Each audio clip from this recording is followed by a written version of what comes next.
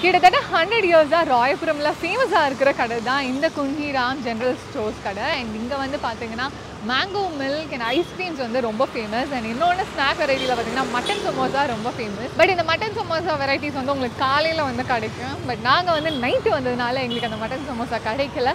ஒரு mango ice cream அப்புறம் ஒரு பிஸ்தா ஐஸ்கிரீம் ஒன் எயிட்டி பிஸ்தா ice cream mango ice cream cost எவ்வளோன்னு பார்த்தீங்கன்னா வந்துட்டு சிக்ஸ்டி ருபீஸ் இருக்குது மில்க் இருக்குது மேங்கோ மில்க் அண்ட் ஐஸ்கிரீம்ஸ்லாம் வந்து உங்களுக்கு சிக்ஸ்டி ருபீஸ் இருக்குது அண்ட் ஃபேமிலி பேக் மாதிரியும் கிடைக்கும். அது வந்து த்ரீ ஃபிஃப்டி ருபீஸ் இங்கே பார்த்தீங்கன்னா தெரியும். மேங்கோ மில்க் கிரேப் ஜூஸ் பாதாம் ice cream chocolate milk lemon juice butter milk and ice cream வெரைட்டியில் pista ice cream and mango ice cream இருக்குது ஸோ இதுதான் பிஸ்தா ice cream and mango ice cream இது எல்லாமே வந்துட்டு homemade ice cream so வாயில் வச்சோடனே melt ஆகும் பார்த்தீங்களா அந்த மாதிரி ஒரு ஐஸ்கிரீம் நீங்கள் வெளியில் நார்மலாக வாங்குற ஐஸ்கிரீம்லாம் வந்து ஒரு திக்கான ஒரு ஃப்ளேவர் வரும். பட் இது வந்துட்டு அப்படியே மேங்கோவோட ஃப்ளேவர் நிறையா வரும். ஆல்ரெடி மெல்ட் ஆக ஆரம்பிச்சிச்சு டேஸ்ட்டும் சூப்பராக இருக்கும். இந்த கடையிலே இவங்களோட ஃபேமஸ் ஆனது வந்து இந்த மேங்கோ மில்க் தான்.